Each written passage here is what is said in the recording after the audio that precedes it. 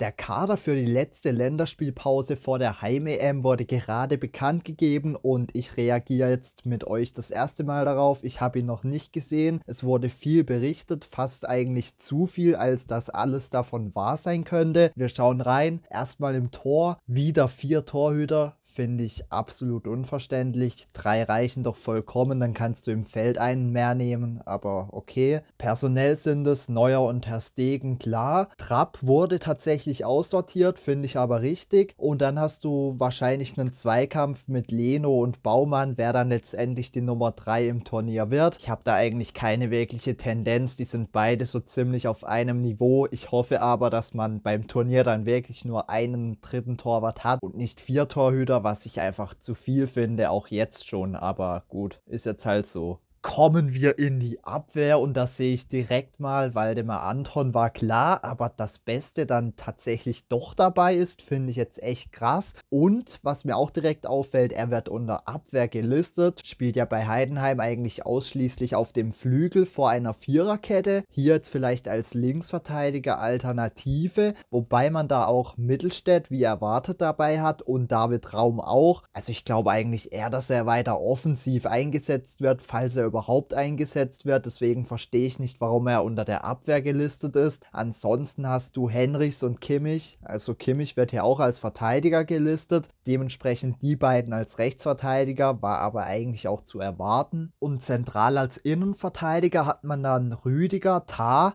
Robin Koch tatsächlich auch dabei. Finde ich aber völlig okay nach den Leistungen. Und dann eben Waldemar Anton, der auch dabei sein musste, aber halt auch noch nie dabei war. Also vier vier Innenverteidiger. Schon mal eine ganz andere Auswahl. Keiner von Dortmund dabei, obwohl die eigentlich drei potenzielle Kandidaten haben. Aber ist ein klares Zeichen, war so zu erwarten. Aber gefällt mir auf jeden Fall. Kommen wir zum Mittelfeld und da haben wir zunächst mal Robert Andrich, denke ich mal, wenn ich drüber schaue, ja, als einziger wirklicher Abräumer, kein Anton Stach, der vielleicht auch gut gewesen wäre, aber Andrich ist auch keinesfalls verkehrt, kann man auf jeden Fall machen. Chris Führig dabei, ja, ist eigentlich auch verständlich, ist so mit der einzige klassische Flügelspieler, den wir haben, der auch mal gerne ins 1 gegen 1 geht. Klar, Musiala, der auch dabei ist, auch, aber der ist eher im Zentrum gesetzt, wie man das da dann letztendlich löst, muss man schauen. Wirtz ist natürlich auch dabei. Gündogan, logisch als Kapitän. Ich denke mal, der wird jetzt eher offensiver als Zehner spielen. Was es dann natürlich erschwert, Musiala und Wirtz einzubauen, muss man mal schauen. Toni Groß wie zu erwarten dabei. Pascal Groß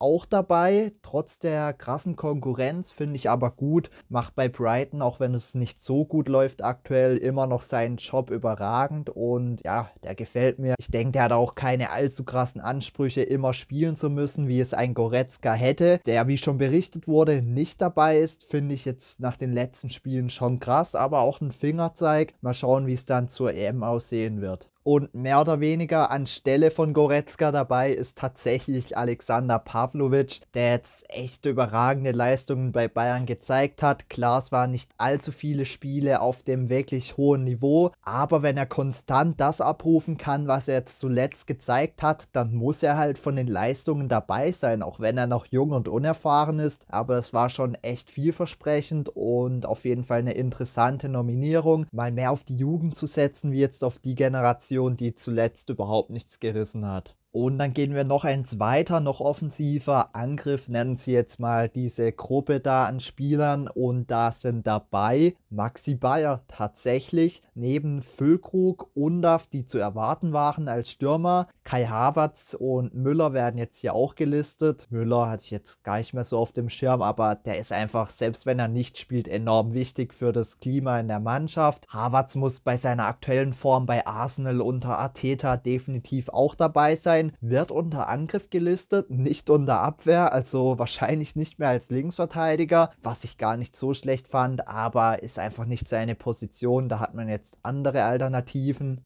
Und Maxi Bayer finde ich auf jeden Fall eine coole Option. Der muss auch nicht unbedingt spielen, aber man kann ihn einfach mal reinwerfen, sei es im Zentrum oder auf dem Flügel. Also auch eine kluge Nominierung, wie ich finde. Also alles in allem sieht man bei dem Kader, dass definitiv das Leistungsprinzip gilt, was ich ja gar nicht mal immer so wichtig finde. Also wenn ein Nationaltrainer da die Spieler für sein System nominiert, finde ich das völlig fein, aber so auch gut. Wenig Dortmund-Spieler, die jetzt zuletzt nicht performt haben. Dafür halt viele VfB-Spieler, aber auch andere Spieler, die gerade persönlich gut performen. Man muss natürlich noch sagen, ein Sané ist jetzt wegen der Sperre nicht dabei. Der rückt dann noch in den Kader für jemand anderen.